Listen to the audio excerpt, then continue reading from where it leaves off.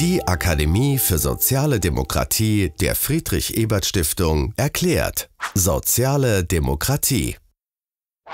Das ist Juliane. Sie studiert Politikwissenschaften. Mit ihrem Mitbewohner Marco unterhält sie sich über soziale Demokratie.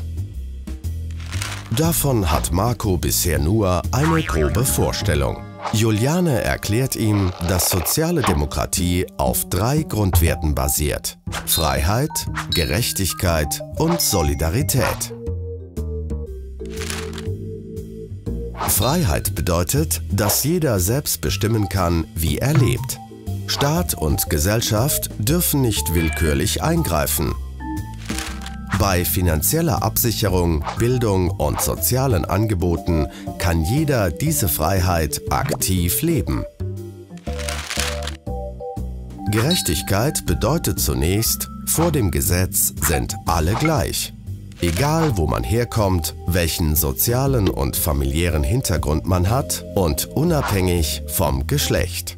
Gerechtigkeit bedeutet aber auch, dass Juliane und Marco tatsächlich die gleichen Chancen bekommen wie jeder andere und ihre Leistung und ihr Bedarf berücksichtigt wird.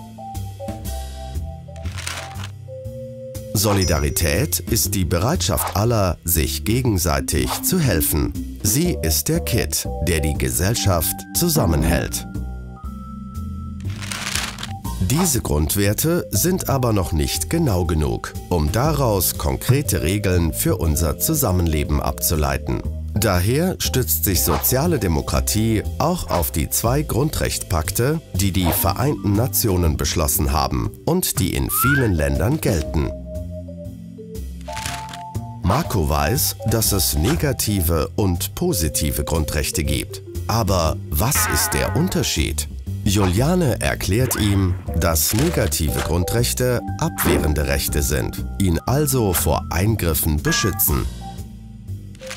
Positive Grundrechte ermöglichen es ihm, seine Rechte aktiv zu nutzen. Die libertäre Demokratie verlangt, dass negative Freiheitsrechte immer Vorrang haben. Positive Freiheitsrechte werden nur gewährt, wenn sie kein Negatives beschneiden.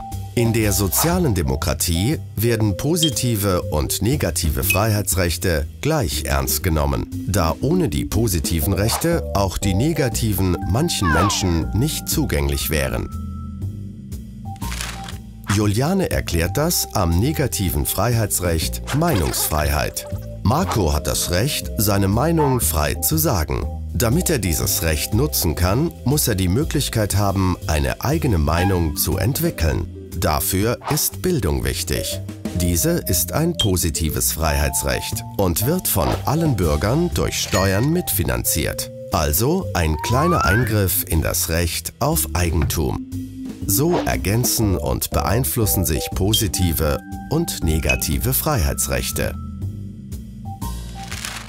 Marco hat ganz neue Seiten an der sozialen Demokratie entdeckt. Er will mehr erfahren und wird sich von nun an für seine Interessen einsetzen. Schließlich braucht Demokratie Demokraten.